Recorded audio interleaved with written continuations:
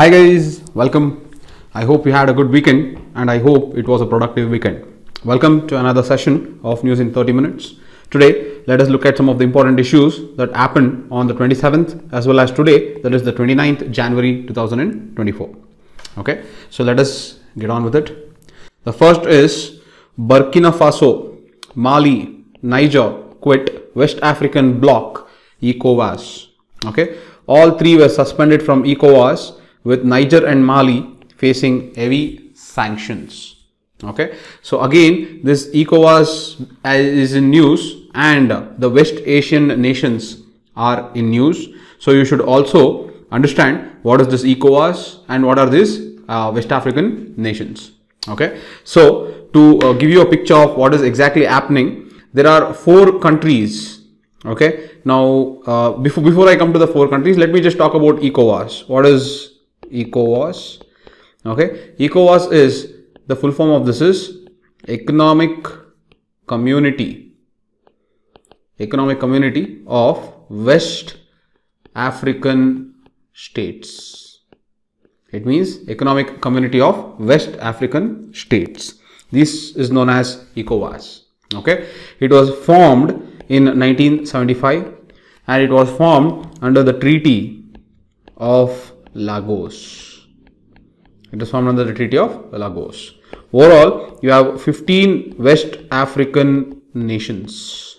This grouping as 15 West African nations. Okay. Now, out of this 15 West African nations, so if we take the 15 West African nations, okay, now in this 15 West African nations, four members were suspended. Four members were suspended due to military coup. That is, the military toppled the elected government and they took over the control of that country. Hence, the four members are suspended, whereas the other 11 members are still present. Okay, so who are these four members? The four members are first Burkina Faso. Okay, the second is Mali, the third is Niger, and the fourth is Guinea. Okay, so these are the four countries. Okay, whose membership was suspended. So when their membership was suspended, these three nations, the military of this nation has decided, the military of these nations have decided to quit the membership of ECOWAS. Okay, so ECOWAS is both economic as well as political union of West Africa.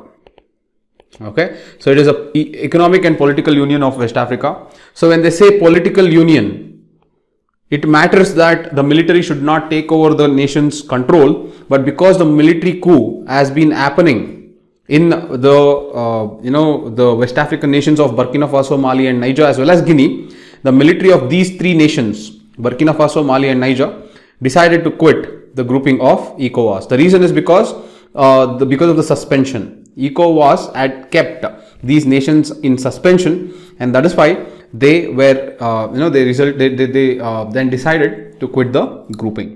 Okay, so along with this four West African nations, okay? The other important uh, west african uh, nations that are part of this ecowas are one is togo the second is benin the third is cape verde the fourth is gambia okay? The fifth is ghana okay? The sixth is guinea g u i n e a basu b a s s AU, Guinea Bissau.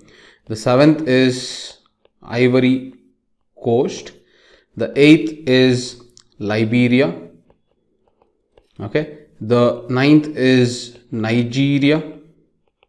Okay. Don't get confused with Nigeria and Niger. Okay. Nigeria. The tenth is Senegal. The eleventh is Sierra Leone. Okay, so overall, these are the nations of West Africa. That is, these 15 members of West Africa. So you should have in your spatial memory, okay, that is in your visualization, you should have these nations. So don't try to buy out the English of these names. Try to keep looking at the atlas, mark these places. These places are in use, so there are very high chances that they can come okay? Now for you people so this is the entire issue. So i hope you now understood. Burkina mali niger quit west african bloc. The reason is first they were suspended from this grouping. And because they were suspended from this grouping the military of these three nations decided that they want to quit the ecowas. So i hope you understood the issue.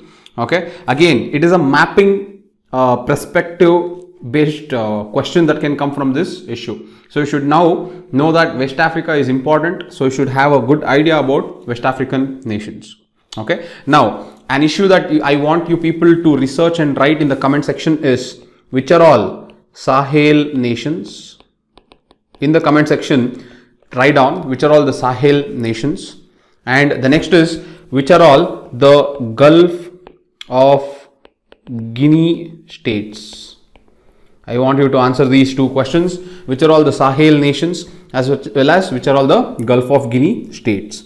So the reason is I want you people to interact in the comment section. That interaction shows that you are proactive enough that it that itself will inspire the teacher as well as other students to do more. Okay, it should not be a one-sided communication. I want you people to interact. I want you people to communicate. In that way, everyone wins in this particular game of preparation okay so please make sure that you research on what are these sahel nations and what are gulf of guinea states. Okay so this completes the first issue. Let us go on to the second issue of the day. The second issue is finland. Finland has been in use for a very long time so there are very high chances that again a mapping question can come regarding finland. But before i get into the mapping aspects you should understand the background so the background or the context of what is happening is Finns choose new president for NATO era with Russia in mind. Okay. So basically what is happening is now look, uh, Finland, okay, has become the 31st member of NATO. Okay. And uh, this is the most recent member. This is the most recent member. Okay? And this happened in 2023 so currently there are 31 members in nato and the 31st member is finland. Now this finland remained as a non-aligned country. That is it had maintained its neutrality. Now because russia is becoming aggressive and because russia invaded ukraine this forced finland to become the member of nato okay? So that is the first thing that you should keep in mind. The second reason why finland is important or is in news is finland has accused russia okay for pushing migrants. It has accused russia of pushing migrants into its borders. Okay? And it is telling that this pushing of migrants is happening purposely by russia in order to destabilize finland to destabilize Finland, the Russian government is pushing the migrants into the borders of Finland. Again, this has resulted in closing of the borders, closing of borders by Finland.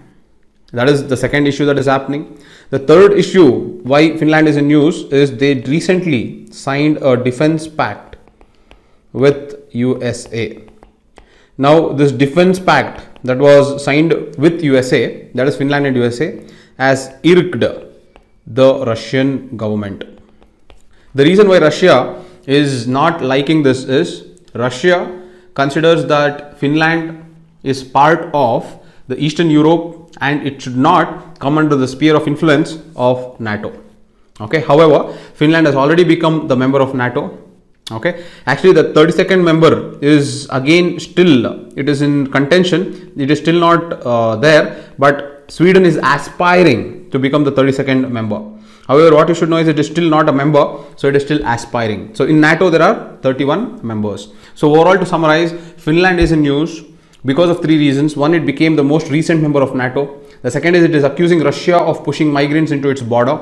And the third is it signed a defense pact with USA. Now with all this, China, I mean, sorry, Finland is also trying to choose a new president, keeping the NATO era and Russia in mind.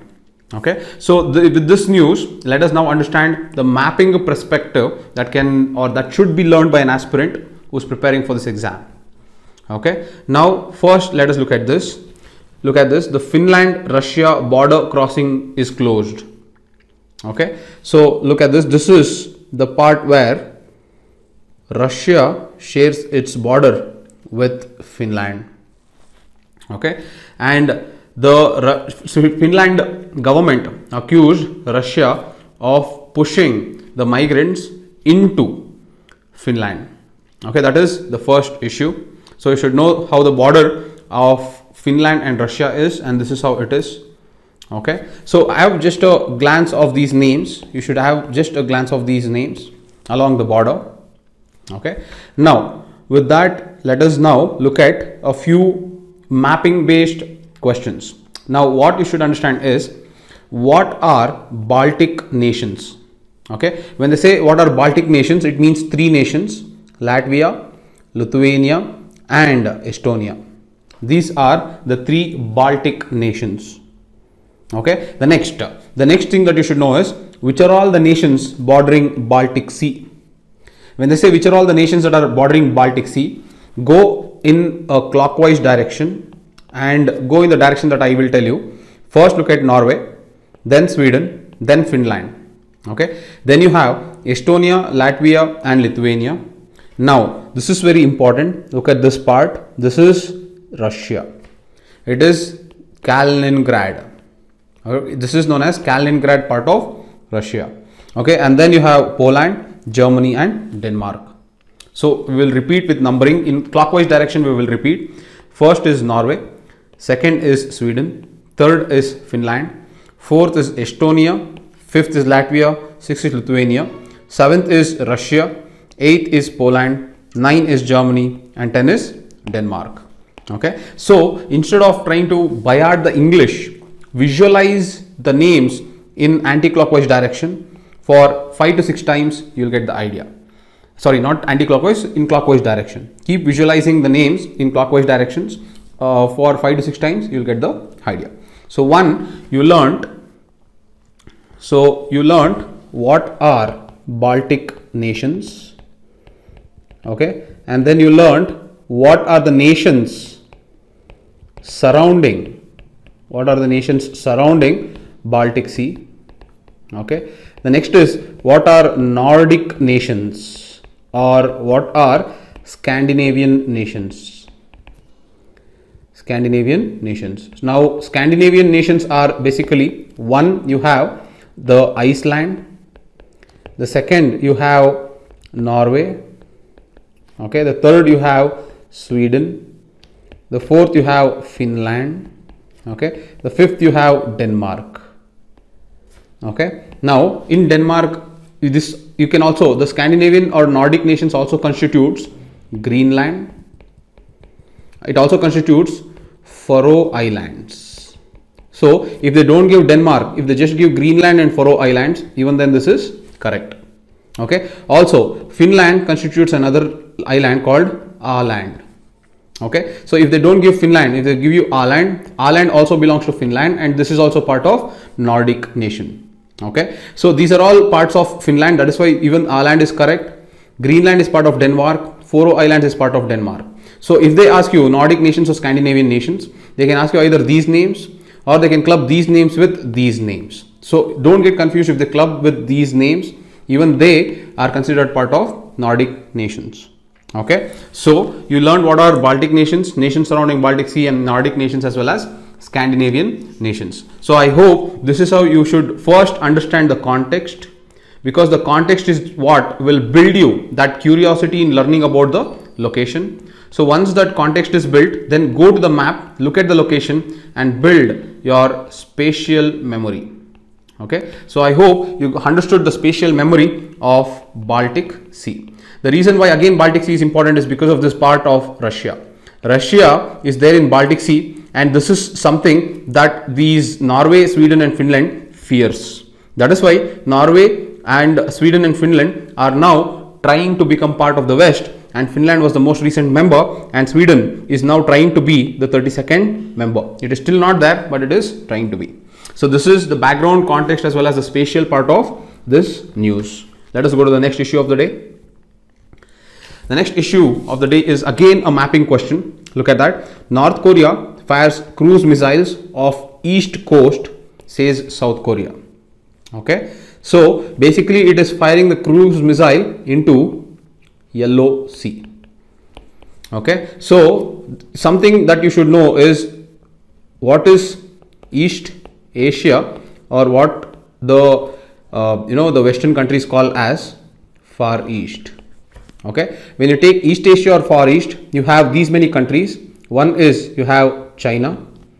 The second is you have south korea the third is you have north korea okay and the fourth is you have eastern part of russia okay these four put together are known as east asia or far east countries okay now that is the first part so by looking at this, you should not just buy out these names. You should go to the map and try to develop the spatial memory. Okay, so that's the first one. Anyways, with that, now the next is the next thing that you should know is Yellow Sea. North Korea is firing cruise missiles of the east coast. Okay, when they say east coast, they are basically firing into Yellow Sea. So there are three, I mean, there are two what important water bodies in the East Asia. The one is Yellow Sea and the second is the Sea of Japan. The second is the Sea of Japan. So, if you look at these two seas, let us now look at what are all the nations that are bordering the Yellow Sea as well as the nations that are bordering the Sea of Japan. That in turn will give you a spatial memory of this Yellow Sea and Sea of Japan. Okay. First, let us look at the Sea of Japan. Okay. So, if you look at Sea of Japan, take a look at first Japan, the country called Japan. Then look at the country called South Korea. Then look at the country called North Korea. Then China and then Russia. Again, go in clockwise direction. You have Japan, South Korea, North Korea, China as well as Russia. Okay, so basically these are the East Asian or the Far East countries. So once you now know the Far East countries, now look at the Sea of Japan. Okay, and if you look at the Sea of Japan, and now again from Japan, go to South Korea, go to North Korea, and go to Russia. Look at it, China does not have any border with the Sea of Japan.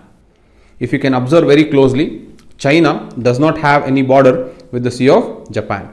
You can see that there is Russia here and there is North Korea here. So China does not have any border in the Sea of Japan okay so now this sea of japan is also known as east sea don't get confused okay they can just say east sea or far east sea so it is the same as the sea of japan okay now on the north you can see the sea of okhotsk this sea of okhotsk is again uh, something that is between japan and russia sea of okhotsk is between japan and russia and there is sakhalin island this sakhalin island is part of russia which is very famous for natural gas and petroleum. Okay. Again, you also have Kuril Islands here. Kuril Islands has been in contention. See, the ownership of these islands is in dispute between Russia and Japan. Okay, the ownership of Kuril Island has been, you know, in conflict between Russia and Japan. So, I hope you got the spatial memory of the Sea of Japan and the surrounding countries. Again, the East Asia or Far East Asian countries are go in anti-clockwise direction uh, like this. Sorry, go in clockwise direction like this. You have Japan, you have South Korea, North Korea, China, and then Russia. These are the Far East countries. The Sea of Japan has all the Far East countries except China. Okay. Now, with that, let us look at the Yellow Sea. Okay, let us look at the Yellow Sea. As you can see, this is the Sea of Japan, this is the Yellow Sea, and this is East China Sea. Okay, as you come down, you have the Taiwan, south of Taiwan is the South China Sea. Okay, South China Sea also has been in news, but in today's issue, we are mainly concerned with this Yellow Sea. Okay, so if you look at this Yellow Sea, okay, Yellow Sea is basically a sea that is bordering, as you can see, South Korea, North Korea, as well as China. Okay, yellow sea is bordering three nations: South Korea, North Korea, as well as China. So that is yellow sea, and this is Sea of Japan. So I hope you understood the two uh, important water bodies in East Asia and you also learned about the Far East or the East Asian nations. Again, as you can see here, this Ryukyu Islands as well as Senkaku Islands, okay, that is south of Japan, has always been in contention between Japan and China. They have always been in contention between Japan and China. Okay? So i hope you understood these uh, water bodies. Again the water bodies are very important. The three important water bodies are one is sea of japan you should know very well. The second is yellow sea that is also important. And the last is south china sea okay south china sea is also very important. Okay and few straits that are very important are one is uh, Tsugaru strait. Okay the second is Tsushima Strait. Okay and the third is Luzon Strait. Okay so Tsugaru Strait Tsushima Strait and Luzon Strait these are some important traits. I've given it to you mark it in your atlas by looking at it okay so this completes the mapping part of this particular headlines okay so let us move on with the next issue of the day the next issue is ISRO.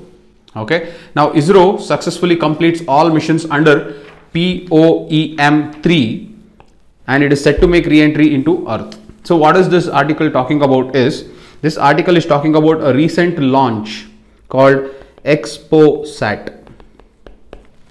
Okay, XPOSat, the full form of XPOSat is X-ray polarimeter satellite. It is XPO X-ray polarimeter satellite. Okay, this is the third space-based observatory. This is the first space-based observatory. The other two are the first is AstroSat and the second is Aditya L1. Okay, and this Aditya L1 is the first space-based observatory of sun. It is the first space-based observatory dedicated for sun. So don't get confused in the words. If they ask you the first space-based observatory, sun space-based observatory, then this becomes the first. Okay. However, if they just ask space-based observatory, if they don't ask we dedicated to sun, if they just ask space-based observatory, then Aditya L1 is second, the first is AstroSat and the third is the XPOSat okay? So XPOSat becomes the third space based observatory of India. Okay? And this XPOSat basically monitors or it tries to trace polarized X-ray. Okay? It tries to monitor as well as track polarized X-rays. Okay? And this polarized X-rays basically are a feature of these polarized X-rays are basically a feature of heavy cosmic bodies. Okay? Like black holes and neutron stars this polarized x-rays are a feature of heavy cosmic bodies. Okay? Hence overall the objective of XPOSat is to study more about black holes as well as neutron stars. Not only this any cosmic body that has very high levels of weight or gravity that body is associated with polarized x-rays and XPOSat helps shedding this polarized x-rays.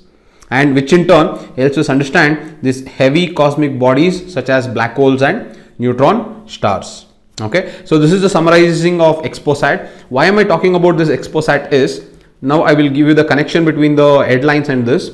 The pslv okay that carried the XPOSat okay it launched the XPOSat okay and now the PSLV is set to re-enter. It is set to re-enter the uh, you know earth. It is set to re-enter the earth all right. Now before it re-enters the earth it undergoes something called orbital decay.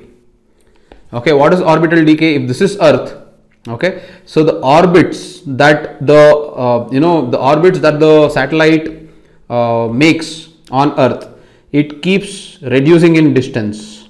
It keeps reducing in distance. And finally this particular uh, you know uh, pslv the launch vehicle will enter the earth. Okay so that reduction of that reduction of orbiting distance. That reduction of orbiting distance is what I call it as orbital decay. Okay? Now why am I telling you about or orbital decay is this PSLV for re-entering the earth it has to undergo orbital decay. When it is undergoing orbital decay there is a payload in PSLV called POEM3 what is POEM3? That is PSLV orbital, sorry, PSLV orbital experimental module 3. Okay, PSLV orbital experimental module 3.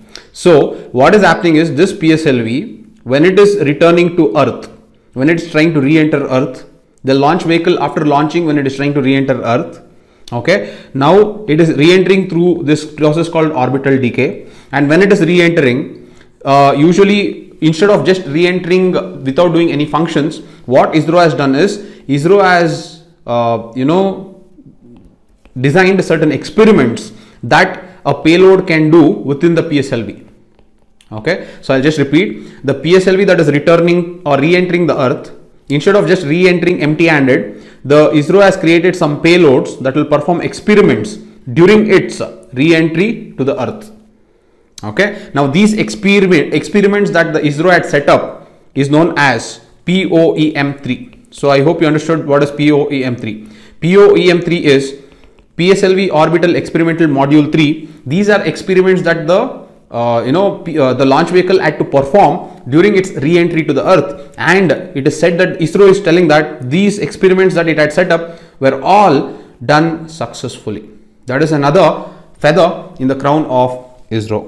Okay so I hope you understood the uh, you know uh, the essence of this POEM that is the PSLV orbital experiment module 3 okay now some of the names of experiments that were conducted this can ask, be asked again in prelims.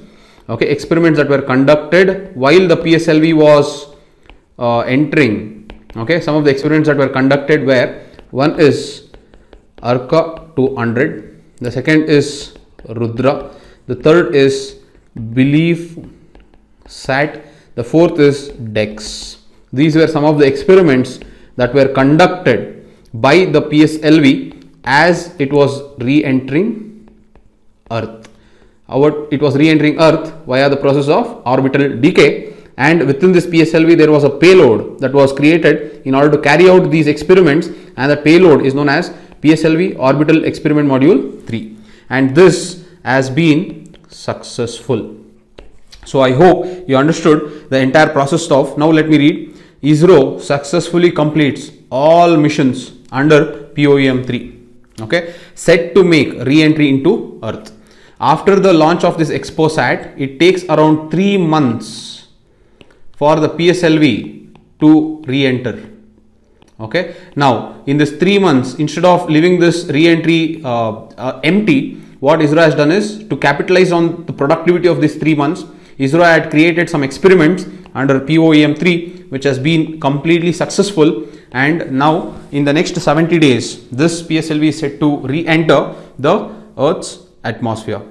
So I hope you understood the concept of XPOSat. I hope you understood the concept of re-entering the earth and I hope how this experimental module has been set up which has been successful in experimenting Arka 2000, Rudra, BeliefSat as well as DEX. These are a few experiments. There are many more experiments that are done. However, uh, these were few that I felt that it is important and this you can use in your uh, I mean, this can be used uh, for asked in, I mean, this, it can be used in your prelims preparation. That is, they can just ask recently news, these are the terms that were seen. This is in the context of what? They can just ask you like that. So in that way, uh, they can just test you whether you know or have heard these terms or not. Okay, so this completes this issue. Let us move on to the next issue of the day. The next issue of the day is a case study. Okay, it is a case study of determination. It is a case study of grit. It is a case study of courage. Okay, it is a case, study of positive thinking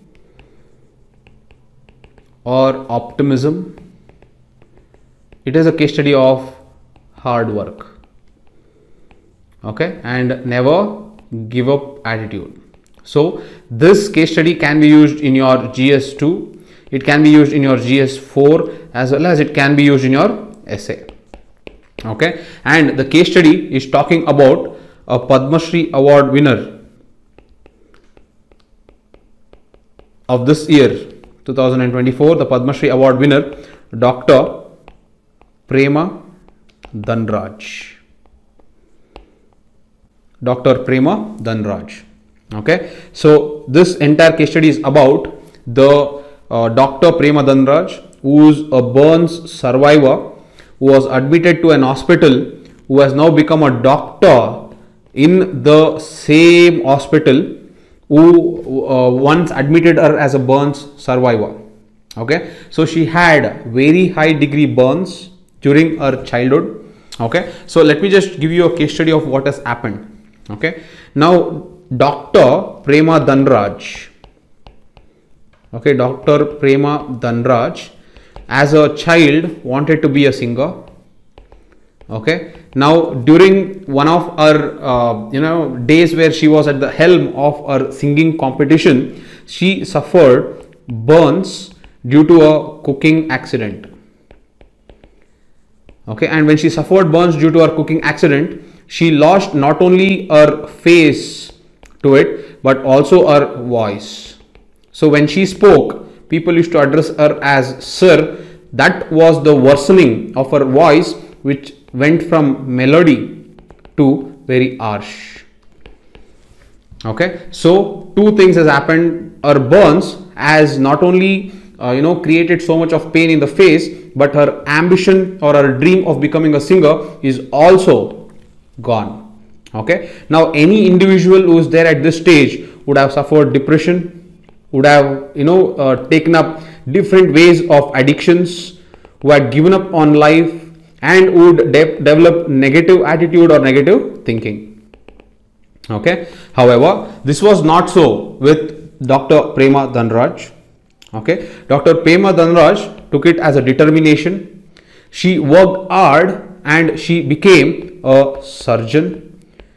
As I told you, she became a surgeon in the same hospital which had treated her for the burns. And today, the 70 year old doctor is still treating patients for their burns. Okay, and she has started a, you know uh, NGO called Agni Raksha, and this Agni Raksha has already conducted 25 thousand free surgeries. It has already conducted 25,000 free surgeries. So, this is a very inspiring story of this individual who has been awarded the Padma Shri for her contribution to the society not only through her free surgeries but also as a means of inspiration to many individuals who have suffered setback in their lives. That is why I told you this is a beautiful case study that can be spoken for determination, grit, courage, positive thinking, hard work as well as never give up. So I hope you can use this case study as an introduction to your essay that adds a very good uh, you know uh, value while starting off your essay. Okay, so this is about the case study. Let us go to the next issue. The next issue is again about the forest right concerns that could influence electoral results nearly a third of its constituencies okay? So here the entire uh, you know this particular part is basically political. So we are not interested in this but what is interesting is this. Okay? The forest rights act is very very important. So don't worry about the other things that is given in the article but you should have some idea about this forest rights. Okay? Again if we take the forest rights act the full form of forest rights act is scheduled tribes and other traditional forest dwellers recognition of forest rights act 2006 so this is in short called as forest rights act. Okay that is fra now this forest rights act enables it enables tribal and forest dwellers it enables tribals and forest dwellers to claim legal rights over their land.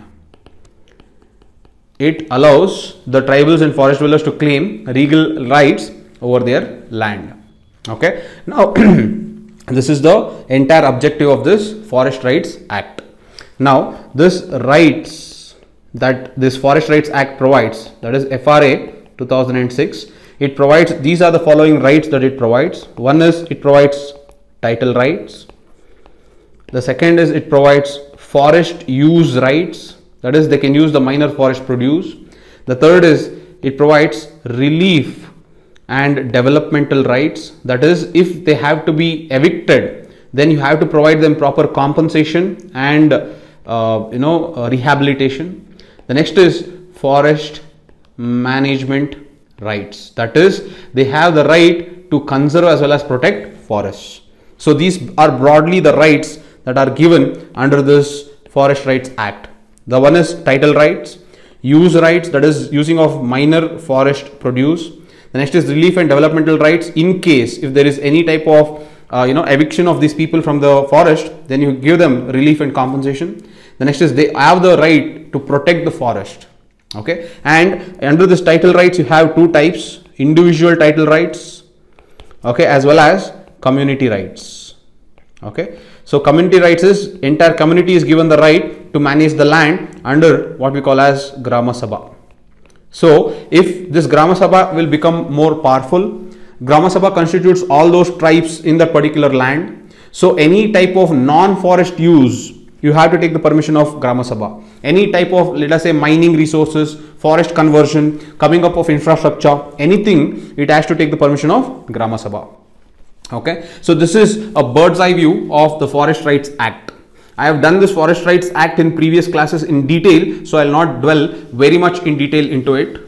But one important mains statistics that is given is which is very important for me from your mains perspective is the first is the data that is given by the ministry the data that is given by the ministry of tribal affairs because this act comes under the ministry of tribal affairs so the data given by tribal affairs is as of October 2023. Okay, there were 2.2 million individual land titles. There were 2.2 million individual land titles and 1.1 lakh community titles that are given till date.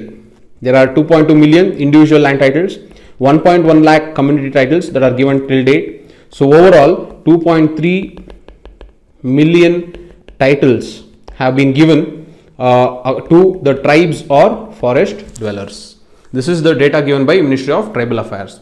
Now what is the stat state of affairs is, see the 2.2 million individual land titles is good but look at this how low is just 1.1 lakh community titles so there is a constant, uh, you know, criticism that the community rights, okay, the community rights are not provided by the forest bureaucracy.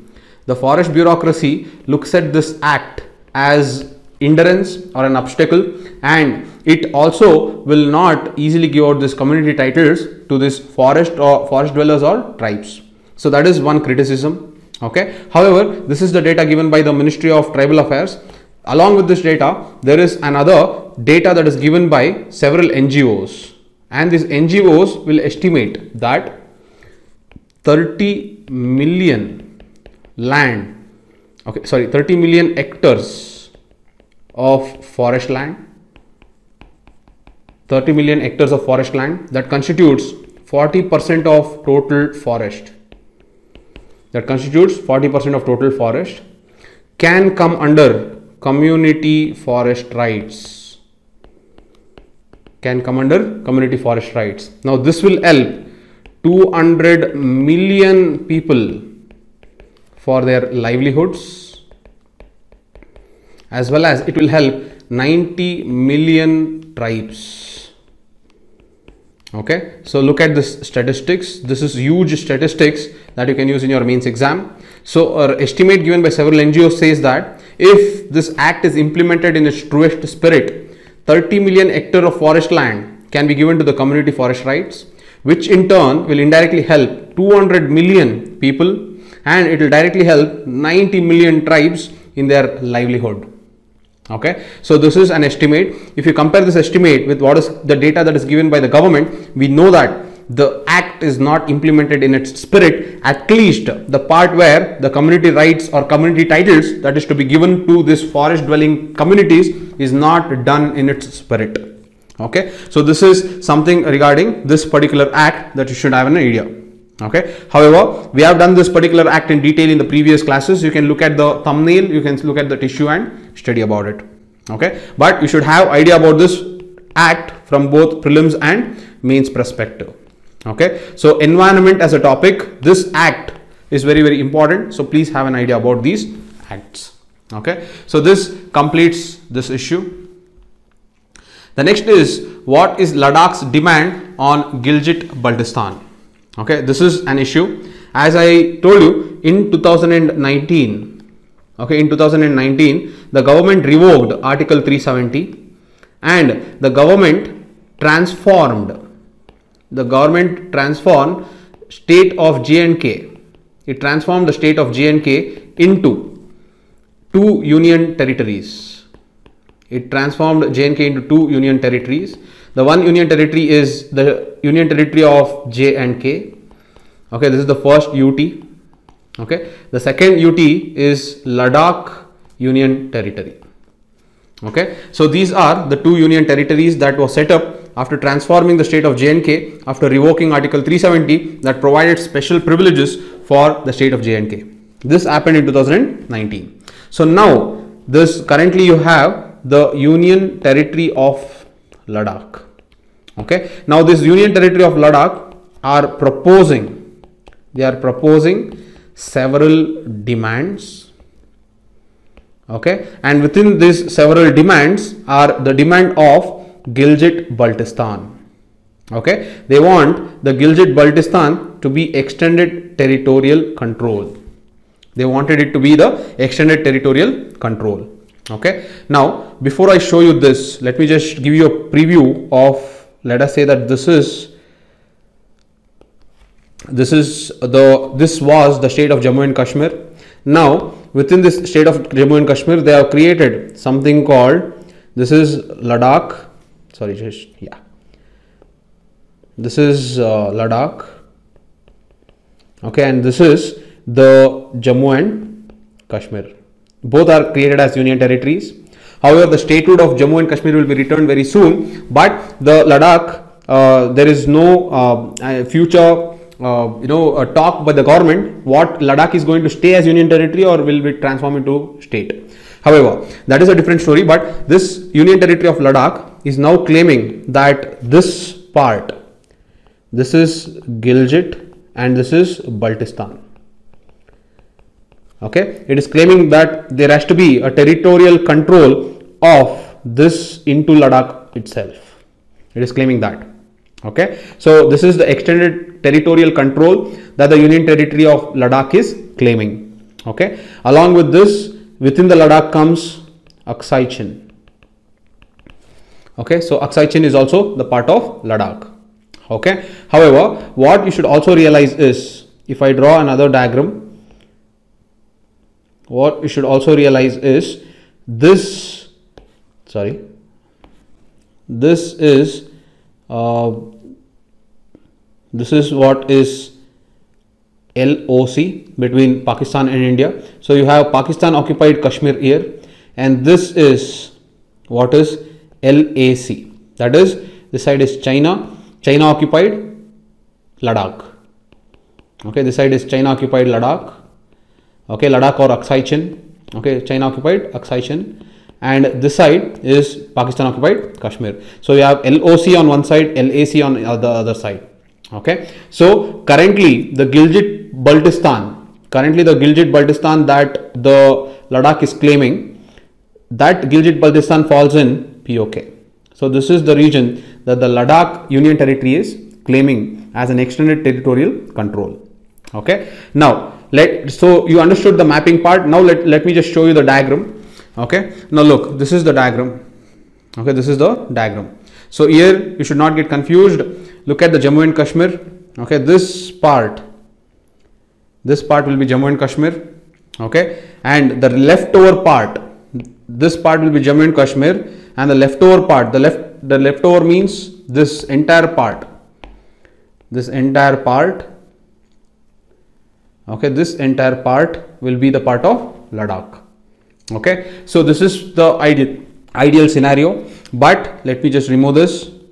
As I've already explained to you you also have the line of control and you also have this part.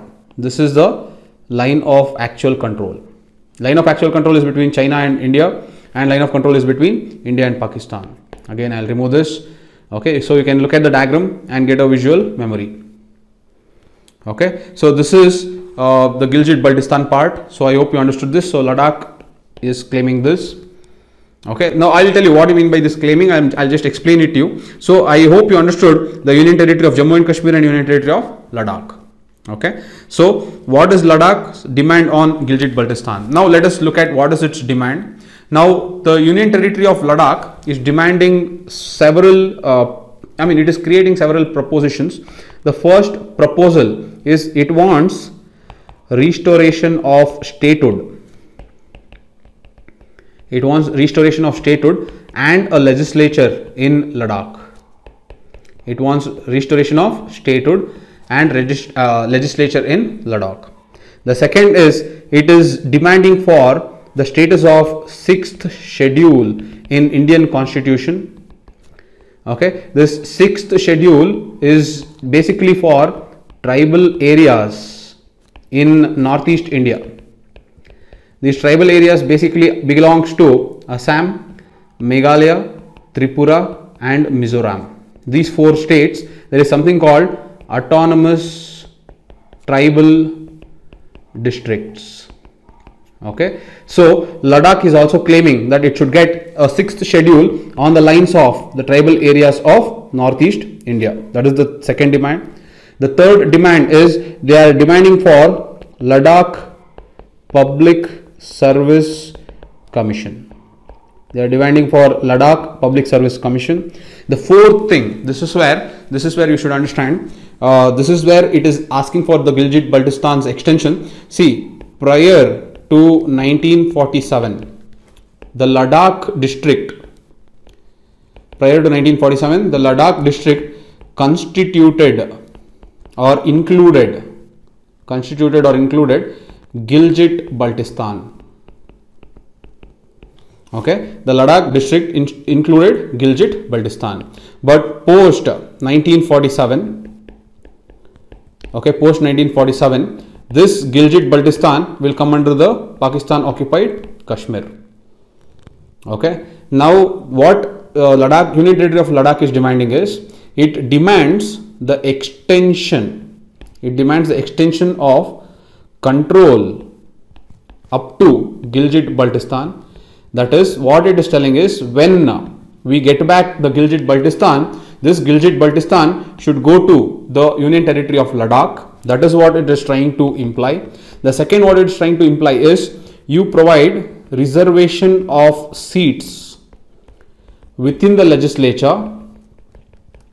You provide reservation of seat within the legislature once the legislature is granted in Ladakh.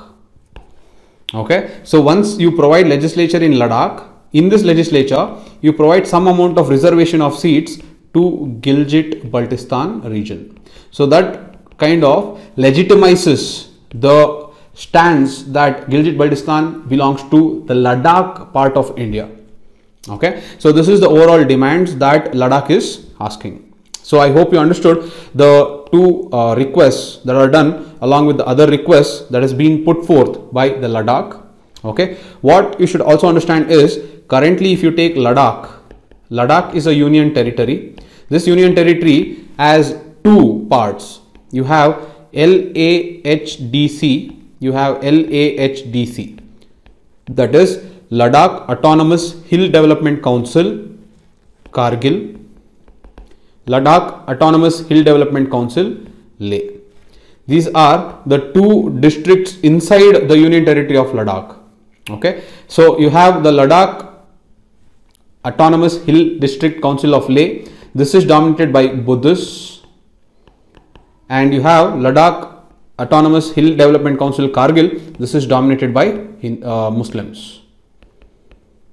Okay? Overall this is how the ladakh is designed. So this is the union territory of ladakh which is requesting state which is requesting legislature which is requesting sixth schedule which is also requesting the territorial control and the reservation of seats within the legislature in gilgit baltistan okay? So for this the government has set up something called kishan reddy committee. The government has set up something called Kishan Reddy Committee in 2022 and Kishan Reddy Committee is looking into the demands or the proposals laid by the people of the Union Territory of Ladakh. Okay, so I hope you understood this issue. What is Ladakh's demand on Gilgit Baltistan and why they want it as an extended territorial control. Okay, so this is about the entire issues of the day. So I hope you have enjoyed it and more than enjoyed, I hope you like the clarity in the concepts. Whenever you learn the concepts, work on the clarity. If you have enjoyed these videos or these issues, please don't forget to share, like as well as subscribe guys. Please get as many friends as possible to tune into this initiative so that I am incentivized to do this on a regular basis. Thank you so much for all the love and support guys. I'm going to see you tomorrow. Bye.